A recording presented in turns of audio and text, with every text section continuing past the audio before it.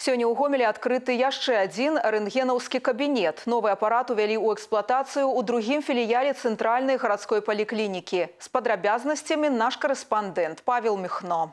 Апарат «Уніэксперт 3+.» – сучасны рэнтгена-дыягнастычны комплекс беларускай вытворчасці каштуе больш як 2 мільёны рублёў. Ён складаецца з матарызіраванага нахільнага стала штатыва, стала здымкаў і вертыкальнай стойкі, прызначаны для шырокага спектру рэнтгенаўскіх даследаванняў ва ўмовах стацыянара. Основное преимущество э, то, что здесь есть э, цифровой детектор изображения, и мы получаем э, снимок не на пленке стандартной рентгеновской, а на экране монитора что позволяет нам корректировать изображение при его изучении и оценке вот, и корректировать э, режим. Увядзенне новага абсталявання прайшло ва ўрачыстай абстаноўцы. Па-іншаму не магло быць. Паліклініка на працягу двух гадоў працавала над тым, каб атрымаць універсальны рэнтгена-дыягнастычны комплекс. Увесь гэты час пацыенты былі вымушаныя праводзіць рэнтгенаграфічныя даследаванні ў іншым аддзяленні на восьмай іншагародняй вуліцы. Цяпер праблема вырашана, і новы кабінет гатовы дапамагчы вырабляць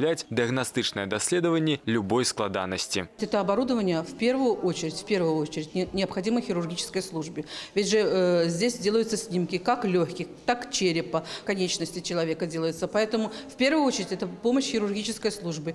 Ну а потом всем остальным получается, что, допустим, тот же невролог, ему нужны снимки э, позвоночника либо черепной ко- коробки Те же э, терапевты, которых нужно более профессиональный снимок легких. То есть всем службам, работающим с пациентами, это оборудование необходимо. Павел Міхно, Ігор Марышченка, тэлерадыакампанія «Гомель».